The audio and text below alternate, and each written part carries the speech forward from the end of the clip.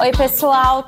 Eu sou a Aline, da Arquitetura, e bem-vindos ao primeiro episódio da Arquitetura Pet Friendly. Estamos aqui na Porto Belo para ajudar vocês a fazer as melhores escolhas de revestimento para sua casa.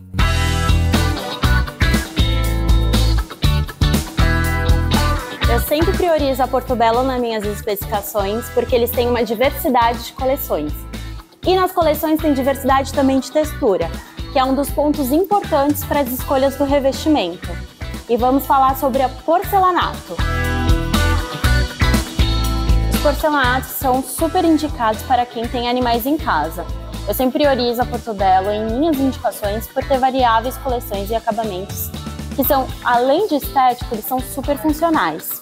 Eu vou ensinar vocês a fazer uma excelente escolha no seu porcelanato. Geralmente, quando você escolhe um porcelanato, eu aconselho o toque. Você passa a mão, você vê se ele é áspero. Ou você associa se para área molhada ou para área seca. Geralmente, os polidos ele pode ser prejudicial para a saúde do seu animal, desenvolvendo displasias e outras patologias. Então, eu sempre indico para os meus clientes: invista no acetinado.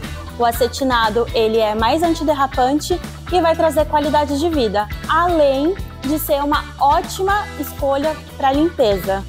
Como esse Travertino, a gente consegue essa coleção nessas duas finalidades estéticas, porém com acabamentos diferentes. E também nós temos outro benefício. Quando é acetinado, o preço é mais acessível.